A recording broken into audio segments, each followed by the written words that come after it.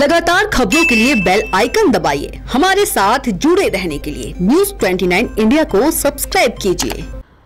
नमस्कार, स्वागत है आपका न्यूज़ 29 इंडिया में। मैं हूँ आपके साथ कविता पांडे।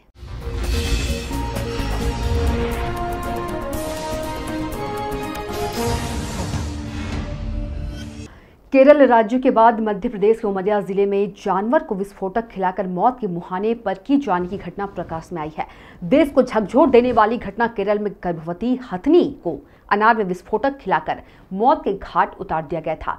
वही घटना उमरिया ज़िले में गाय को विस्फोटक खिलाकर गाय का जबड़ा उड़ा दिया गया। वही गाय का पंद्रह दिनों का बछड़ा दूध के लिए तरस रहा है। पुलिस ने विस्फोटक अधिनियम, पशु कुरता अधिनियम का अज्ञात व्यक्ति के खिलाफ मामला दर्ज कर लिया है। हमको और आपको बचपन से ही पढ़ाया जाता है, बताया जाता है कि गाय हमारी माता है। मगर आज उमरिया ज़िले के पाली थाना क्षेत्र अंतर्गत गाय को विस्फोटक खिलाने का मामला सामने आया है।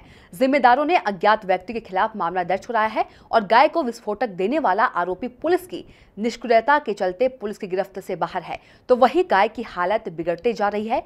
पंद्रह दिनों का बछड़ा बूंद बूंद दूध के लिए तरस रहा है, जबकि इस गर्मी में गाय को पानी तक पी पाना मुश्किल गुजर रहा है। लेकिन चौदह तारीख को गाय सुबह गई है शाम को नहीं आई। मेरे द्वारा ढूंढा गया। नहीं मिली। दूसरे दिन पानी गिरने लगा, फिर भी ढूंढा नहीं मिली। पंद्रह तारीख को शाम को आकर के देखा जब मैं दुकान से तो देखा गाय बैठी हो, उसका जबड़ा पूरी तरह से क्षतिग्रस्त है। देखकर ऐसा आशंका लग रही है जैसे इसको किसी ने या तो विस्फोटक खिलाया है या तो इसने खाया है।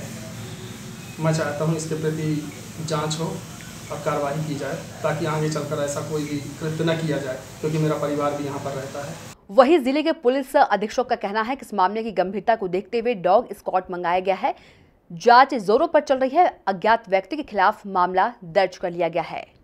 आज मुझे पता चला कि पाली थाना अंतर्गत ग्राम गिंजरी में एक गौ माता को बम खिलाया गया, बम। और जिससे उसका पूरा जो चेहरा है, खाना खाना, जो मुँह पूरा फट चुका है और उसका मालिक ढूंढते ढूंढते कई दिनों बाद उसको पाया है। आज उस गौ माता की ये हाल है कि वो बेचारी चारा नहीं खा पा रही, मर रही है। अभी आप लोगों ने देखा होगा, कुछ दिन, अभी कुछ दिन पहले केरल की घटना थी, हथनी मरी थी जिसके पूरी मीडिया, पूरा भारत खड़ा हो चुका था। ये उमरिया की घटना है। उमरिया उमरिया का बजरंगी शांत नहीं रहेगा। उमरिया का बजरंगी ढूंढ के बदला लेगा। अगर जो प्रशासन नहीं कर पाएगी तो बजरंगी ढूंढेंगे और बजरंगी सजा देंगे। अगर जो प्रशासन इस मामले को दबाने या कि इसके जो भी मुलजिम हैं, उनको अगर जो किसी भी कारण उनको नहीं ढूंढ पा रही तो हम ढूंढ के देंगे। नहीं कानून काम करवा रहा तो हम करवाएँगे। नहीं तो सजा हम देंगे। जिस गाय के शरीर में 36 करोड़ देवता निवास करते हैं, जिससे हिंदू धर्म में माँ का दर्जा दिया गया हो, उस गाय की यह स्थिति को देखकर पूरा शहर सदमे में है। वह क्षेत्र की जनता में आक्रोश व्याप्त है और वही गाय और गाय के बछड़े को बचाने के लिए पूरे प्रयास किए जा रहे हैं। उमरिया से राजकुमार गौतम की रिपोर्ट। आप देखते रहिए न्यूज़ 29 इंडिया एक देश सारे प्रदेश।